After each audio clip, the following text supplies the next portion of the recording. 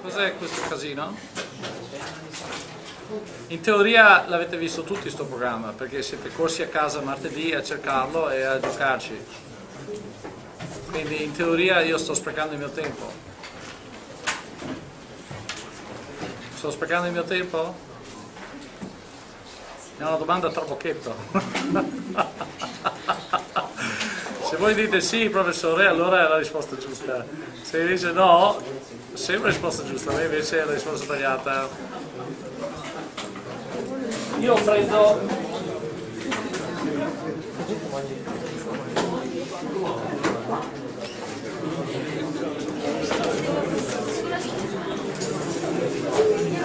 Credo che si possa tirare giù la versione italiana di questo programma dove avreste le cose scritte in italiano, no? Show vuol dire mostrare, alta risoluzione, low, low resolution, high resolution, la, griglia, la, grid, la, grid, è solo una serie di righe per poter piazzare con un minimo di, uh, di decenza artistica e mostrare i numeri. Clear all vuol dire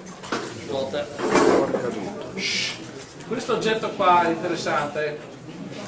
Vedete che c'è un mirino qua ok? Questo vi sta dicendo che ci sono 0 volt in quel punto là perché sono 0 volt dappertutto? perché non ci sono cariche no? d'accordo? allora io piazzo una carica ecco che tutto notato in questo punto ci sono 4,9 volt vedete che questo colore rosa se più vi avvicinate più il colore diventa intenso e vedete che il valore sta crescendo 33 qua 3,1 d'accordo? Uh, poi c'è un'altra funzione molto carina. Quando io pigio questo pulsante plot plot plot the graph. Plot plot vuol dire fare grafico. Poi dopo qualche anno quando lavorerete un po' uh, nel contesto così probabilmente finirete per, per, usare una parola plottare che non so se mi è scappato di usarlo durante le lezioni. Plottare vuol dire fare un grafico Uh, io pigio il pulsante plot, quello che farà è disegnerà il luogo di tutti i punti che hanno lo stesso valore di uh, potenziale idrostatico. Quindi cerco di piazzarmi in un punto dove magari segna 10, vediamo se ci riesco, 9, 9, 10. Ah, il tremolino della mano mi ha fregato, 10. Tac. Tutti questi punti hanno 10 volt Facciamo uno che ha 20 volt. Mannaggia. Mannaggia. Ah, ah, ah, ah! Eh?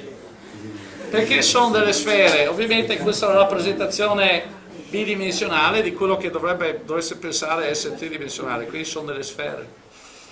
Eh? Perché questa sfera qua che ha un raggio più o meno la metà di questo eh, questo va da 20 a 10 giusto? vedete questi punti sono a 10 tutti questi punti sono a 10 tutti questi punti sono a 20 okay. perché questo qua sembra avere un raggio doppio di questo? perché il potenziale va come 1 su R il campo elettrico va come 1 su R al quadrato, il potenziale va come 1 su R, quindi se io raddoppio la distanza il potenziale viene diminuito, d'accordo? Eccetera, eccetera, eccetera. Appena io metto un'altra carica, beh, prima di farlo mettiamo i sensori, dunque i sensori sono cariche positive, quindi io quando lo metto apparirà anche una freccia rossa che rappresenta, se volete, il, il, la forza di Lorentz siccome questo è positivo e sensori positivi vedete che ho una freccia che è così che più mi avvicino più è grande addirittura fuori scala. La cosa interessante vedete che se volete la freccia rossa se volete è il campo elettrico diciamo così. Supponiamo che la sonda abbia carica 1 allora eh, no ci capiamo. Quindi vedete che la freccia rossa è sempre localme localmente a 90 gradi rispetto alla curva nera Okay? Quando metterò dentro un'altra carica, uh, queste curve nere spariranno perché ovviamente il programma deve, deve, deve ricalcolare le superfici potenziali. quindi se io metto un'altra carica per esempio qua spariscono e vedete che la forza aspettate che vi allontano un po' vedete che quando è vicino a qua la forza domina di questo è abbastanza ragionevole quando mi avvicino qua domina quella quando sono a punti intermedi la forza avrà la direzione che avrà a seconda della, della costruzione della risultante tra questa e questa vedete che punta nella direzione strana? non c'è niente qua perché questo è il risultato della forza che viene da questo e la forza che viene da quello d'accordo? se metto una carica facciamo, continuiamo con le positive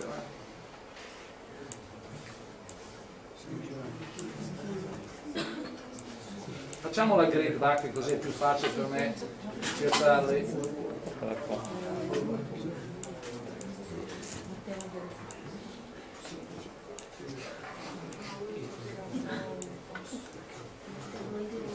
questo si può spostare non si può spostare.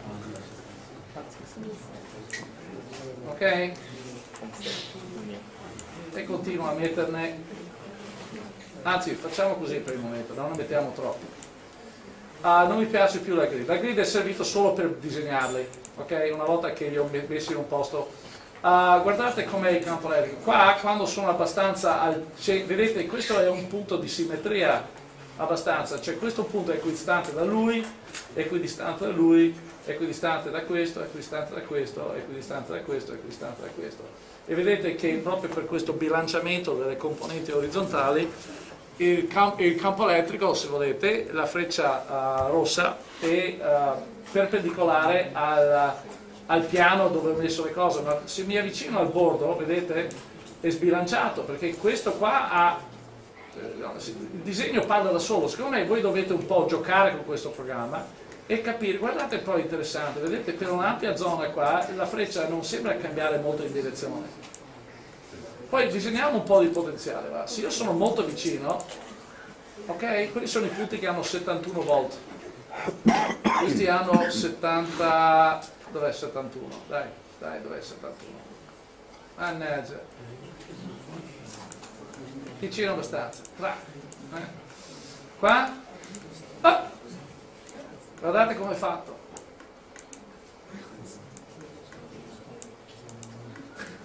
Se mi avvicino molto è quasi un cerchio, è quasi una sfera, se mi avvicino un po' vedete che è distorto.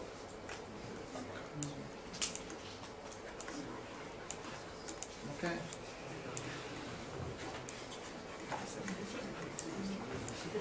Metto la grid così lo disegno meglio.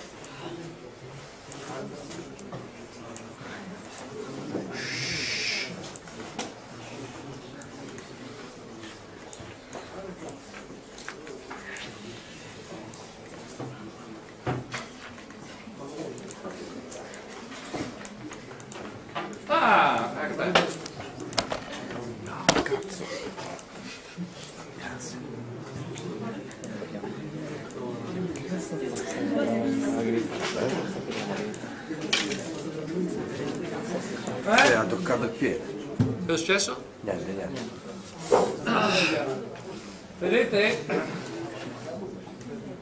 campo elettrico è sempre perpendicolare alle linee nere, se hanno ondulazioni il campo deve essere sempre localmente a 90 gradi. Qua però, vedete qua, vedete che cambia poco la direzione della freccia rossa, quella linea là è quasi dritta, eccetera, eccetera, eccetera. Allora, vado, vado spedito adesso. Metto, metto, delle cariche a caso, metto un grumo di cariche qua, una carica qua, carica qua.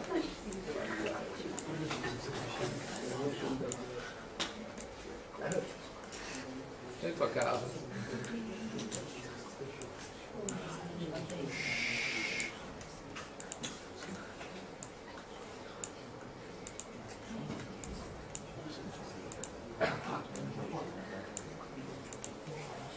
Dovete immaginare questa quasi come una specie di mappa, no? Questo potrebbe essere la mappa di un escursionista.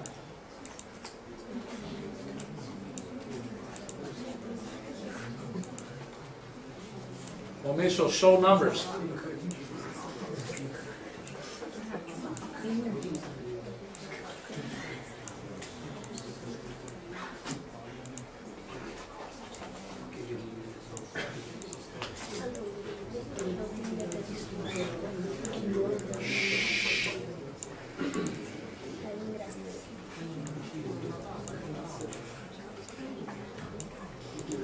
Vi esorto, ma con molto calore, a fare questi giochi e a cominciare a abituare il vostro occhio a leggere, saper leggere questi grafici. Eh? Così magari un giorno se siete in montagna con una carta topografica non vi perdete. E di nuovo se piazzo un sensore qua, vedete che è sempre 90 gradi, sempre 90 gradi, sempre 90 gradi, sempre 90 gradi. Vedete che la freccia rossa sta scendendo questa curva è a 40 volt, questa qua è a 35, è a scendere, il campo elettrico è a scendere, invece qua com'è? Vedete? Sempre a scendere, sempre a scendere, perché questa è la carica negativa, quindi questi sono 3 volt, questi sono meno 36, il campo elettrico è sempre a scendere, sempre a scendere, sempre a scendere.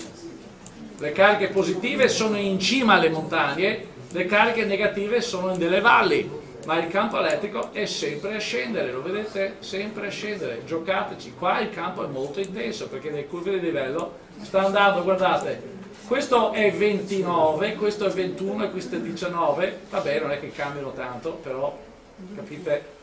Va bene? Giocateci, pensate, faccio le scape. Dov'è il corso? Vabbè, sto guardando. Quindi uh, distribuzioni consigliate, fate un dipolo elettrico. Mm? Questo qua ah,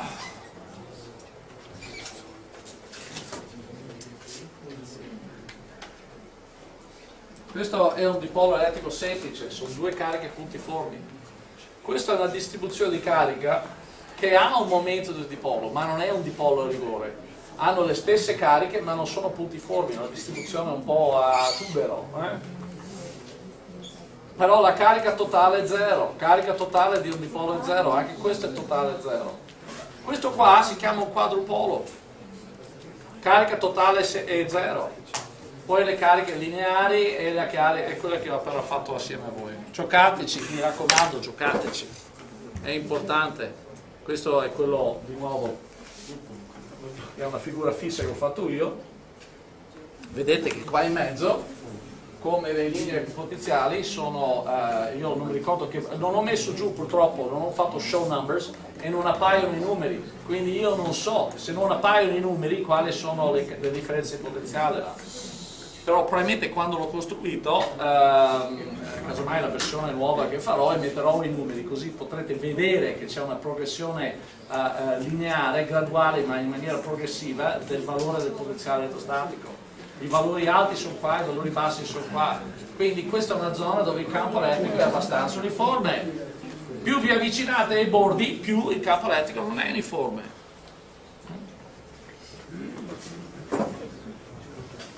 Un, loro hanno un'altra possibilità di mostrare il campo elettrico, però il campo elettrico mettono queste specie di dipoli elettrici che ori si orientano, quindi voi potete visualizzare la forma del campo, no? quello che cercavo di esprimere l'altro giorno, giorno, quando voi molto maleducatamente avete fatto casino. ok, quindi queste sono le superfici potenziali, vedete che non sono dei cerchi, questo non è proprio un cerchio, è un po' schiacciato, un po' deformato. Più vi avvicinate, se io facessi il dipolo, se io facessi il dipolo semplice, vediamo, questo è un quadrupolo.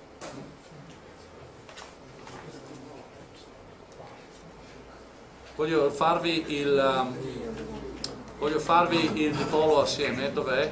È questo qua? È questo che è animato, vediamo clear all. Sì. Allora grid, grid, facciamo il grid, tac. Facciamo, tac. E tolgo il grid metto se sono molto vicino sembra quasi non mi piacciono i numeri ostruisce. Se sono molto vicino è quasi un cerchio è quasi un cerchio molto vicino. Più mi allontano più si deforma. Vedete? più è deformato quello simmetrico sarà un po' un problema. Se non prendo nota dei numeri è ovvio che sarà improbabile che io riesca a fare un disegno simmetrico.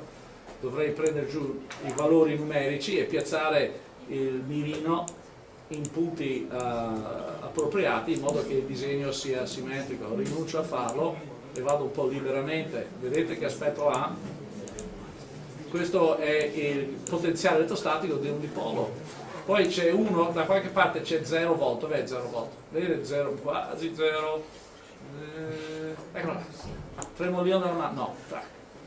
Zoom! Tutti questi punti che sono, questo punto qua è l'asse di simmetria del dipolo, questo punto qua dove è mio, la mia freccina è equidistante da questo è equidistante da quello, quindi qual è il potenziale là? Perché 0? Ah, brutta cosa l'età. Perché 0? Domanda da, da, due, da due punti. Perché 0? Due punti. Se questa è la carica, questa è la carica positiva Q e questa è la carica negativa Q, meno Q, e questo è il luogo di punti che sono equidistanti, perché in questo punto il potenziale è 0? Prima cosa devo dire che la costante è uguale a 0, cioè sto dicendo che il potenziale per R uguale a infinito vale 0 e quindi il potenziale a questo punto è uguale a Q a costante elettrica. Q diviso la distanza dalla carica positiva a meno costante elettrica di Q meno Q, diciamo così, dalla distanza della carica negativa. Questo e questo è il comune, quindi ho K è Q, 1 più la distanza dalla positiva, meno 1 sulla distanza negativa.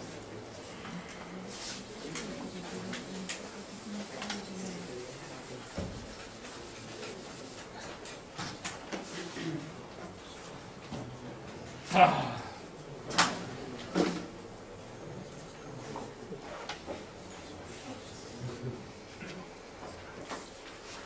Quindi in un punto qualsiasi, se chiamo questa la distanza dalla carica positiva e questa la distanza dalla carica negativa, l'espressione del potenziale in questo punto è data da questa espressione. Ma in questo punto dove la distanza dalla positiva e la distanza dalla negativa sono uguali, allora questo è brach. Cioè questo è P, P sul piano di simmetria, P elemento del piano simmetria. Ok? Quindi questo, questo piano infinito che esce dalla lavagna, che è il piano di simmetria, è un piano equipotenziale, V uguale a 0. Quindi se io, metto, la, se io metto una sonda qua, com'è il campo elettrico a questo punto? A 90 gradi rispetto a quell'area. E in che direzione andrà?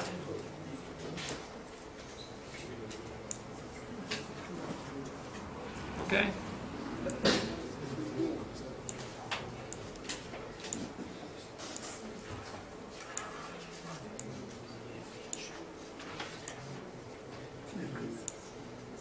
Mettiamo le ok? Se io mettessi un dipolo là sarebbe orientato così. Non mi piace molto questa rappresentazione. Più tenue è ovviamente dice che il campo è, si indebolisce. Preferisco questa dove io metto le sonde.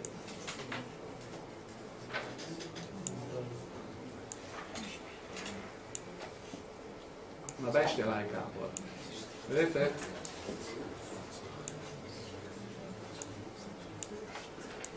Qua il campo è così debole che la freccia rossa è più piccola del diametro della, della pallina della pallina e là sotto anche eccola là vedete? ok? molto carino questo programma secondo me ognuno di voi dovrebbe giocarci un po' ma giocare nel senso eh, di, di, di, cominciare a toccare con mano cos'è un gradiente mh? Hm? come eh, una volta che io dispongo le cariche in un modo arbitrario, vengo ad, a, quasi a disegnare una, un paesaggio dove le colline, le salite sono dovute a cariche positive e le valli sono dovute a cariche negative. Ma attenzione, io ho bisogno di avere, dov'è il cursore? Ho perso il cursore, il cursore, eccolo. Um, dove c'è una carica positiva sarà in cima, dove c'è una carica negativa è una valle. Ma dovete ricordarvi che in questa zona qua vale l'equazione di Laplace. Va bene, chiudiamo questa cosa qua. E volevo farvi vedere che... Salva, no. Oggi ho messo dentro una nuova versione perché c'era un errore di stampa Uh, beh, questo lo voglio far vedere non perché mi interessa far vedere la prima lezione, ma c'è una figura che è molto carina.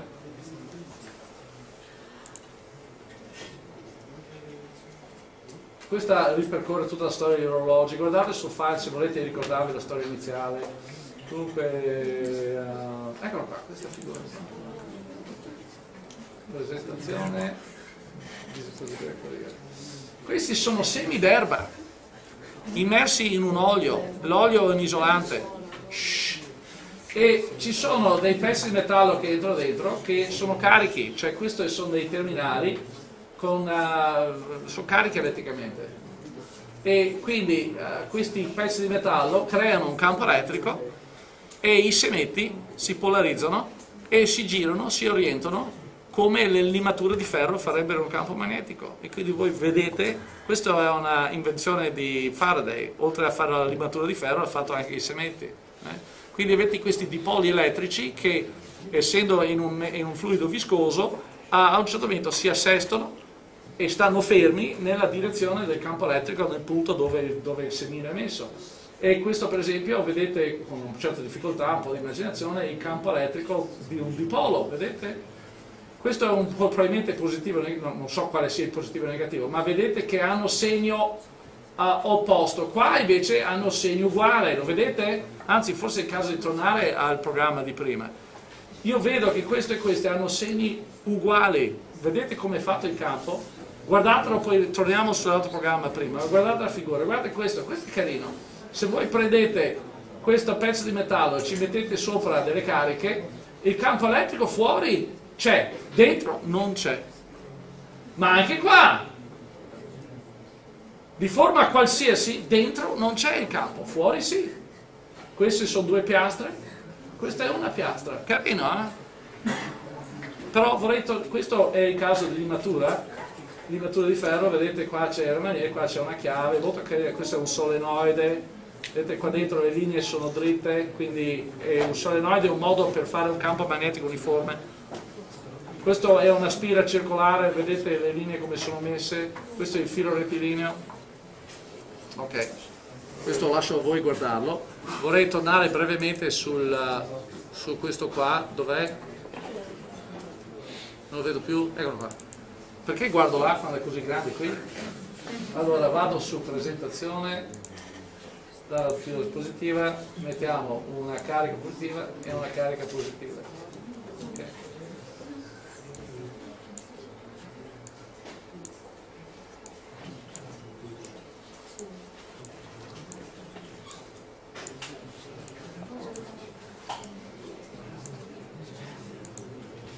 Eh, questi si vede, vediamo high resolution, no. Dovrei mettere così tanti da riuscire ad aiutarvi a visualizzarlo, ma è difficile fare perché dovrei avere una pazienza che non ho, ma forse si riesce a visualizzare meglio se metto le linee di livello, non vi pare?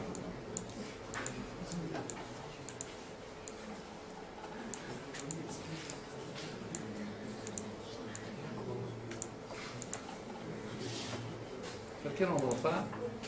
Perché il computer sta facendo qualcosa? Cucù, antivirus forse? Fai qualcosa? Non me lo plotta. Perché? Non me lo plotta, parola inglese. Come mai? Strano, forse c'è un bug.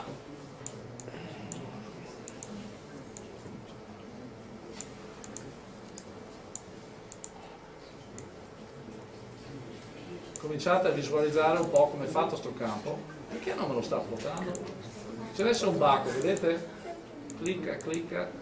che strano. Ah, ecco. Allora, vedete che il sensore qui, come è fatto?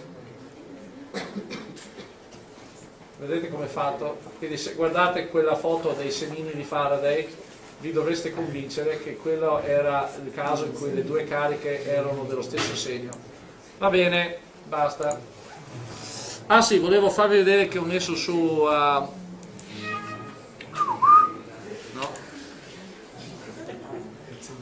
Lezione dei Poisson Laplace. Salute. C'è un sacco di roba qua, lezione elettrostatica, tutte le robe che ho fatto, che sono i Poisson, questo è Poisson, questo è Laplace, qua dentro c'è l'equazione di Laplace, prima di cariche, proprietà, questa è una cosa che vorrei che voi guardaste da soli, non ho il tempo di farlo, tutte cose che fate da soli, ve lo chiederò e così ovviamente statica, divergenza, così, tutte queste pipì, tutte queste robe. Tac, tac, tac, tac, tac. Like the gauge di Coulomb, no? Ok, l'equazione elettrostatica, magnetostatica, quello che ho fatto alla lavagna, eh. Questa è la soluzione di Poisson nell'elettrostatica e quindi nella magnetostatica la stessa equazione con le debite uh, traduzioni, no? invece aver ρ avete J, qua ne avete 1, qua ne avete 3 perché è un vettore e avete mu0 sopra perché qua l'epsilon 0 è sotto, qua però deve essere chiaro, non dimenticate. E poi se uno fa uh, un tipo una linea, una linea di carica, tipo un filo di carica, sarebbe questo l'elettrostatica e il magnetostatica è questo. Ok? Stessa equazione con le debite, con le debite uh, modifiche. Va bene? Quello voglio, di cui voglio parlarvi adesso è la legge di Biot-Savart, che in questo PowerPoint sono 5 slides, guardatele. Non è una domanda che faccio a chi lotta per il 20, magari è una domanda che fa, lotta per la lode. Quindi se, se avete ambizioni guarderete, se non avete ambizioni non la guarderete. Però legge Biot-Savart dovete saperlo, chi non sa legge Biosavar è cacciato. Okay. La legge Biosavar è questa qua, che adesso vi racconto il risultato. E lo scopo di mostrarvi adesso è che non ho voglia di farvi capire, ma deve essere chiaro, attenzione, sono molto serio. La storia è come è andata. Parliamo un attimo dell'elettrostatica. Coulomb, Coulomb era uno sperimentale. Lui misurò come si comporta la forza di Coulomb, appunto, Uh, con il suo pendolo a torsione, fece delle misure, studiò tutto e tirò fuori una legge che era sperimentale. Poi un grande matematico, forse il matematico di tutti i tempi, che si direttava a far fisica, Gauss, fece uh, uh, l'osservazione che la legge di Coulomb sperimentale poteva essere espressa come una, poteva essere dedotta da una legge matematica, che era la legge di Gauss, la legge di fisica espressa con un linguaggio di matematica. Quindi Gauss propone, guardate che la legge più importante è la mia legge, perché si deduce la legge di, di Coulomb. Certo, Coulomb l'ha scoperto sperimentalmente, ma io riesco a descrivere l'esperimento di Coulomb con una legge fisica matematica che è più generale, è più generale della legge di Coulomb. Successe qualcosa di molto analogo in magnetostatica. Questi due francesi, Biot-Savart, Biot-Savart, erano degli sperimentali e misurarono sistematicamente il campo magnetico prodotto da un circuito filiforme, quindi un filo di forma strana percorso da corrente. E la legge, adesso io ve lo racconto, ah, vi racconto la legge, non come è ottenuta. Come è ottenuta, cioè cosa è successo? Che poi dei fisici e matematici hanno detto ma la legge sperimentale di Biot-Savart può essere dedotta dalla legge di Ampère. La legge di Ampère è la legge generale. Eh? Ma addirittura dalle leggi della magnetostatica, sono due le leggi della magnetostatica, una è che la divergenza di, di B è zero, cioè che B è generabile da un potenziale vettore e dalla legge di Ampère, sono le due leggi, d'accordo? Le due leggi messe assieme a, a, possono essere espresse nella famosa equazione tipo Poisson, d'accordo? Quindi io ottengo la mia A, ecco la mia, dov'è il cursore? Ho perso il cursore, eccola. Questo è la A per un filo filiforme. Poi, cos'è la B? La B è il rotore di A. E con dei massaggi, massaggi ma, passaggi, massaggi, no? con dei massaggi matematici, dei passaggi matematici, io riesco a dedurre la legge di Biot-Savart, che era stata scoperta sperimentalmente, ma si deduce che è una conseguenza del fatto che il campo, il potenziale vettore è questo. E ricordatevi che questa equazione è una conseguenza di due leggi.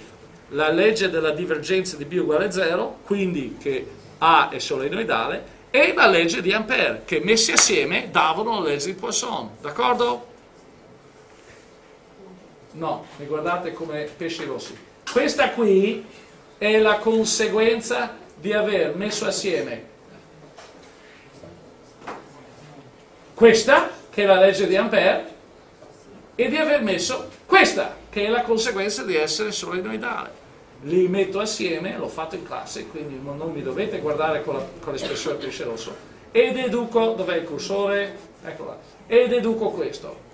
Questo ha lo stesso aspetto dell'equazione di Poisson, quindi quello che ho imparato in Poisson, in elettrostatica, lo riciclo. Per un, per, un, per, un, per un, tubero di forma strana avrei un integrale di questo tipo. Se invece avere un tubero o un filo, nell'elettrostatica scrivo questo, in elettrostatica scrivo questo. Quindi io, partendo da questo, calcolo la B, come si fa a calcolare B? Facendo il rotore e si deduce dopo un paio di slides la legge di Biot-Savart che voglio raccontarvi adesso. Chiudo il computer e ritorniamo a fare lezione frontale. Non ho voglia di prendere il computer del collega e andare in rete per mostrarvi il sito perché credo che sia diseducativo, dovete arrangiarvi. Ibernazione.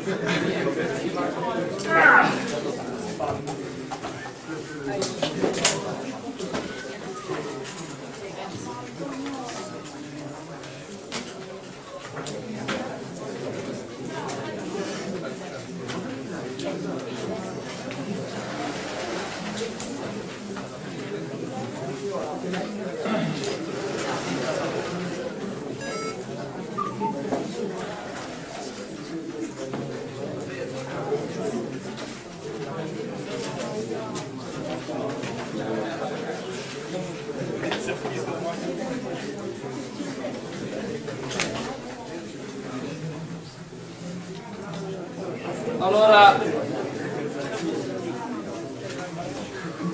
ci sono delle cose che vorrei che tutti sapessero, tutti dovrebbero sapere, prima di parlare della legge biosavare e semplificare come funziona, vorrei reinsistere su una cosa.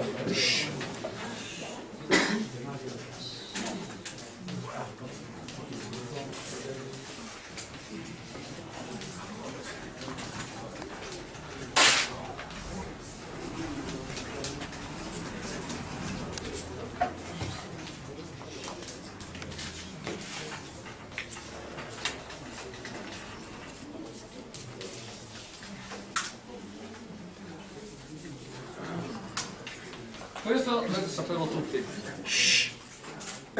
E quindi dovete sapere tutti che la soluzione per una distribuzione continua di densità di carica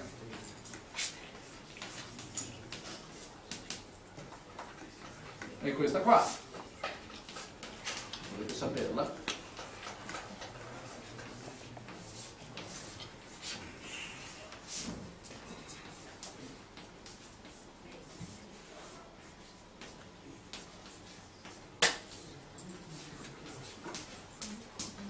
dovete saperla? Perché la dovete sapere? Perché dovete sapere questo.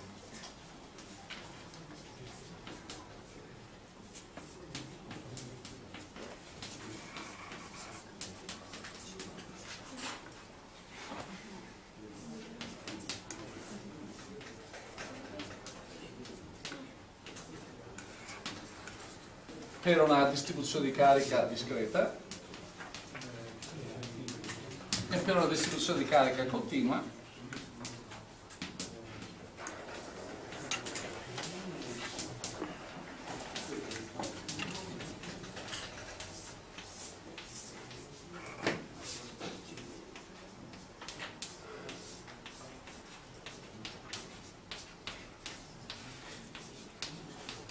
ok? Questa, chi non lo sa, non deve osare venire in un orale. Chi non sa passare da questo a questo, non deve osare di venire un orale.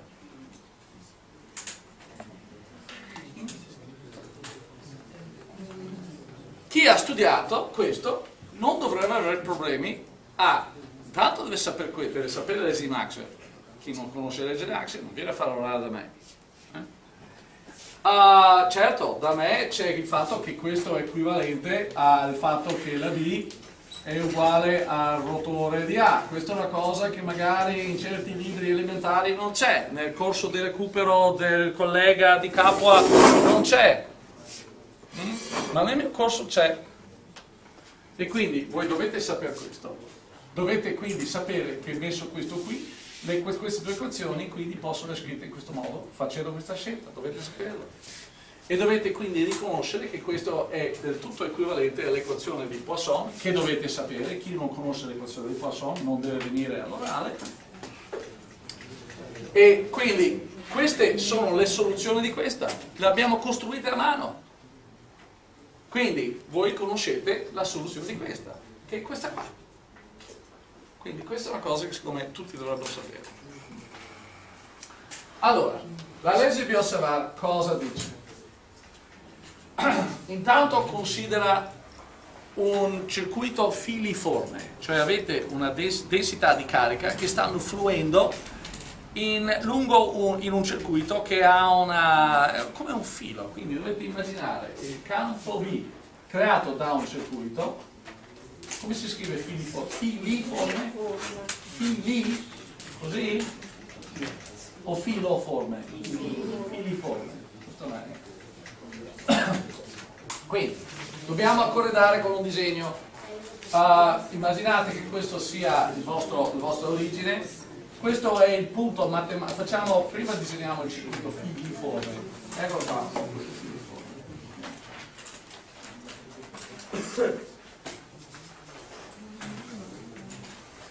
Che ovviamente continuerà e deve ovviamente fare tutto il giro, anzi lo disegno, così è ancora più chiaro.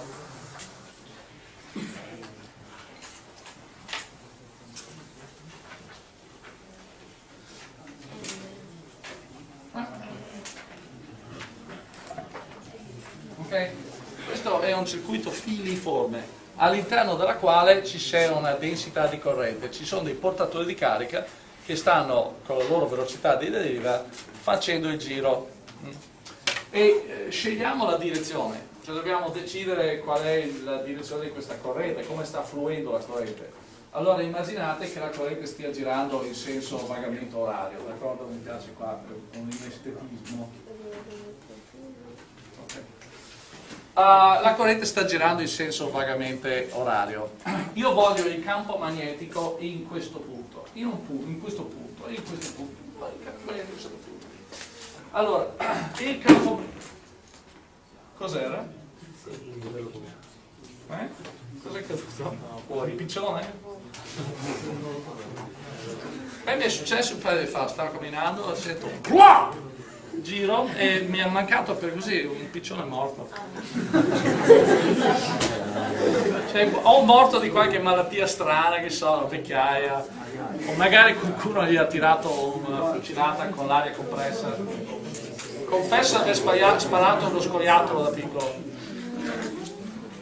con un fucile d'aria compressa.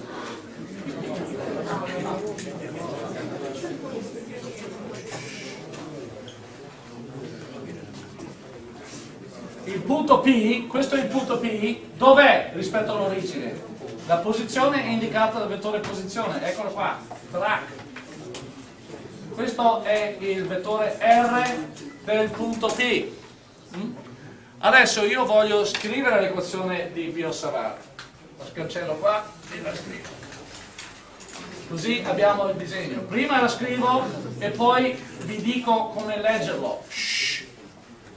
Da dove viene la legge Biosavart? Non viene da chissà dove, viene dall'equazione di Maxwell, si deduce l'equazione di Maxwell. Questa è la lezione che voglio darvi, non è un'equazione, una legge sperimentale che non ha nulla a che fare con l'equazione di Maxwell, è una conseguenza dell'equazione di Maxwell viene da qua, che viene da qua.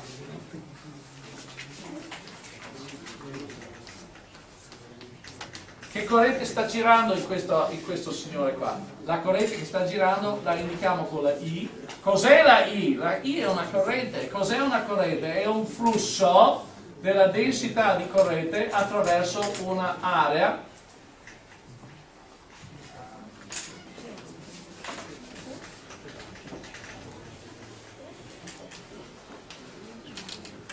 dove la S è la sezione del filo se volete cioè un'area che è la sezione del filo. Per esempio questa sezione qua se voi fate, se voi fate una zoomata qua avete il filo. Ok? Questa è una zoomata quindi immaginate una lente di ingrandimento e avete il filo con i vostri portatori di carica che stanno faticosamente con la loro velocità di deriva muovendosi.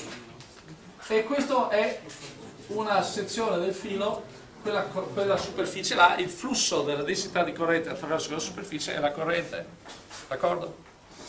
Quindi la corrente che appare qui è la corrente del filo, quindi qua la corrente I, cos'è la corrente? La corrente è, è il flusso del J attraverso la superficie della sezione del filo, la Biosava dice, la scrivo poi la commento, dai. Scrivete e poi la commento.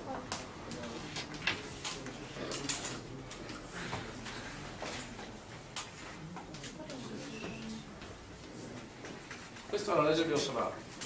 La corredo con i seguenti disegni. Gesso colorato.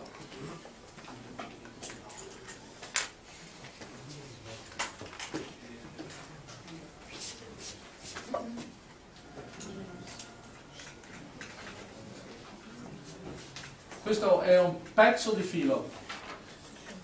DL è un, un trattino, un piccolo tratto di, di filo, lungo DL'.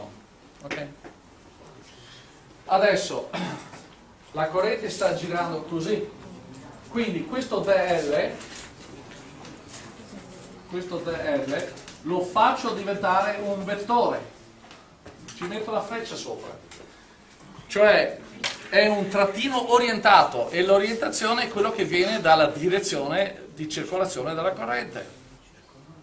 Quindi se la corrente sta girando così, questo trattino ci metto una piccola freccia, ci metto il, come si chiama questo, la punta, ok? Ci metto la punta e lo faccio diventare un vettore.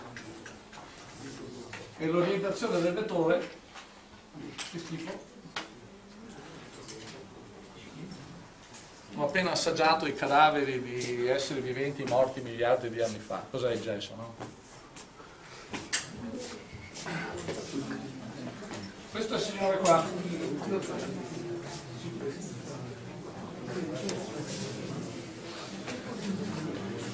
Chi è questo? UDR, se lo scrivo, capirete cos'è.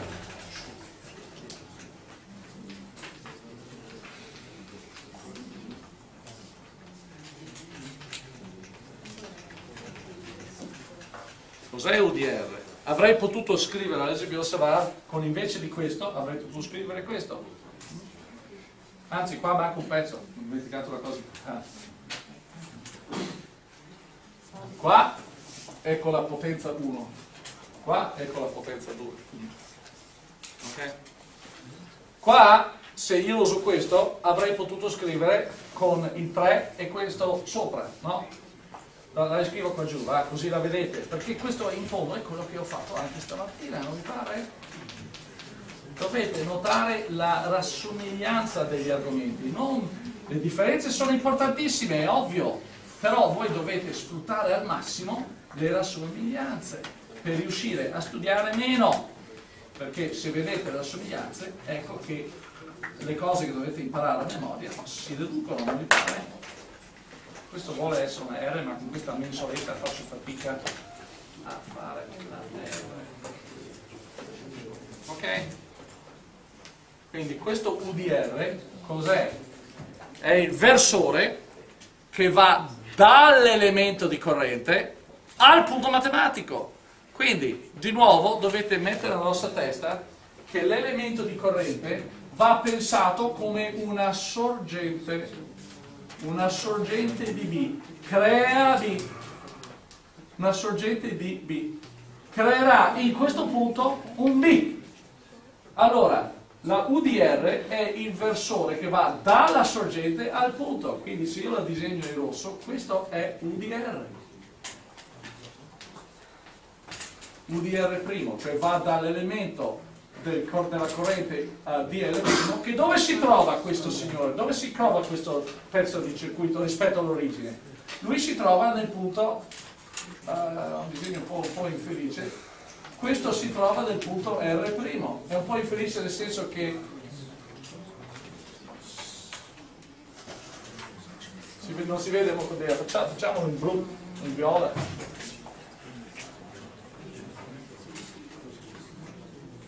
Lo vedete? Cioè il vettore R' punta a dove si trova l'elemento di corrente. Quindi, chi è questo UDR è, questa è la posizione del punto matematico rispetto all'elemento di corrente. Quindi questo vettore qua, UDR, è il versore, cioè R' meno, scusatemi, R meno R', quello che appare qua, lo voglio disegnare in giallo, è questo qui, che va dall'elemento di corrente al punto P e UDR è il versore di quel vettore, cioè lo, lo, prendo e lo divido per il proprio modulo e ottengo una cosa adimensionale di modulo 1, che si chiama il versore, che punta dalla sorgente al punto. Non dimenticate questo, questi versori che appaiono sia in magnetostatica che in elettrostatica erano, sono vettori che, di modulo 1 che puntano dalla sorgente al punto matematico che vi interessa. Notate un'altra cosa importante, c'è una dipendenza dalla distanza e la dipendenza dalla distanza è 1 sulla distanza al quadrato. E questo non dovrebbe stupirvi, in fondo viviamo in un mondo tridimensionale. Quindi le cariche o le sorgenti puntiformi, i loro effetti calano con 1 sulla distanza al quadrato. Il campo elettrico di una carica puntiforme cala 1 su R quadro il campo magnetico creato da quell'elementino di corrente che è arbitrariamente sottile, piccolo, quindi è, dovete pensarlo come puntiforme, è 1 su R quadro. Certo che se prendete tante cariche e le distribuite, che so, su un piano, allora la risultante del campo elettrico di tante cariche puntiformi non è detto che sia 1 su R quadro, come lo è col piano, no? Il campo elettrico di un, di un sacco di cariche spalmate uniformemente sul piano non dipende dalla distanza ma dalla carica singola, la carica puntiforme, la, distanza, uno su, la dipendenza 1 su distanza al quadrato. 1 su distanza al quadrato. Perché è così? Perché viviamo in un mondo tridimensionale. È uno dei motivi per cui i fisici seri non credono nelle persone che sostengono di avere pa poteri paranormali. Perché i loro poteri sostengono di essere indipendenti dalla distanza. Cioè sono motivi molto profondi per dire sono puttanate.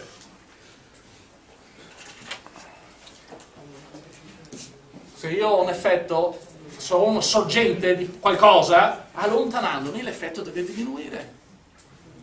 Eh, pensateci, vabbè. Buttata là, entro l'orecchio e esce dall'altro. Magari tra voi c'è qualcuno che crede nell'astrologia o nei chakra. No? Queste pietre, se voi le mettete in tasca, assorbono tutta l'energia negativa. Oppure ci sono delle piantine che se li mettete vicino, se li mettete vicino al computer assorbono tutte le energie elettromagnetiche non, oppure mettete un CD dentro la vostra macchina che prende il radar della, della pistola o della cosa anti-velocità dei poliziotti? Quanta gente conoscete che ha il CD che dondola dicono che controlla i radar?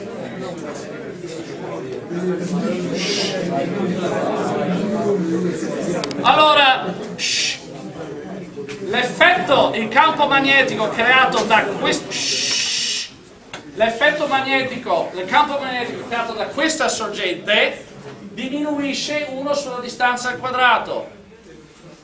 Non vi deve stupire. La cosa che vi deve stupire un pochettino la cosa un po' difficile ad esempio osservare è che c'è un prodotto vettore c'è un prodotto vettore. E questo vi dice che il, la direzione del campo B in questo punto, creato da questo elemento di corrente, dipende dal prodotto vettore tra la freccia bianca, la freccia che rappresenta la corrente, il circuito, il pezzo di circuito, e la freccia rosa. Quindi, prima domanda, in questo punto qua, qual è la direzione del campo magnetico creato da questo filo? Esce, intanto è perpendicolare alla lavagna, esce o entra?